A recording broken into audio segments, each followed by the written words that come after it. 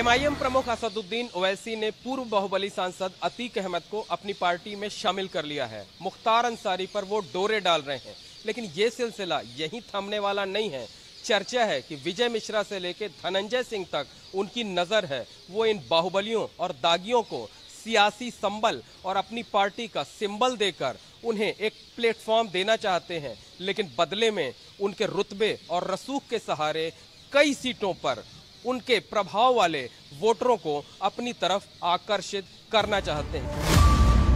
हालाँकि असदुद्दीन ओवैसी का अतीक प्रेम यहीं खत्म नहीं होता। ओवैसी 20 सितंबर को अतीक अहमद से मिलने साबरमती जेल पहुँचे, लेकिन जेल प्रशासन ने इसकी इजाज़त नहीं दी। गौरतलब है, ओवैसी ने यूपी में 100 सीट पर चुनाव लड़ने का ऐलान किया है।